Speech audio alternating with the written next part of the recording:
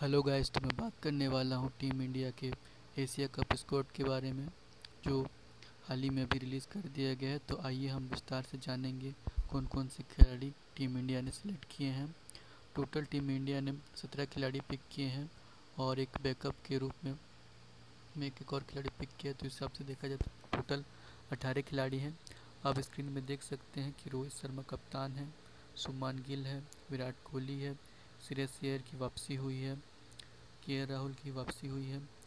तिलक वर्मा को maiden call मिला है। एशिया कप के लिए ईशान किशन हमारी टीम में सूर्य कुमार यादव है। हार्दिक पांड्या को वाइस कप्तानी का कमान दिया गया है। साथ में रविंद्र जडेजा है। अक्षर पटेल है। सरदुल ठाकुर है। कुलदीप यादव है। मोहम्मद सिराज है। जसप्रीत बुमराह है। मोहम्मद समी है। प्रसिद्ध कृष्णा है। और संजू बैकअप के रूप में टीम इंडिया में शामिल किए गए हैं।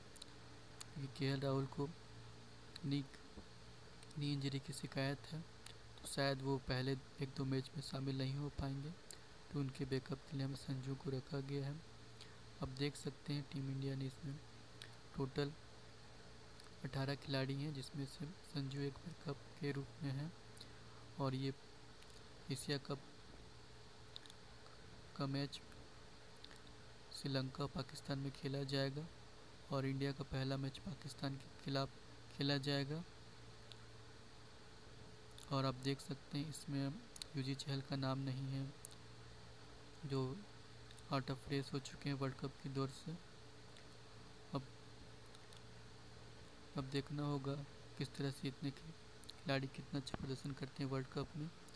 और सभी की नज़रें रहेंगी इन खिलाड़ियों पर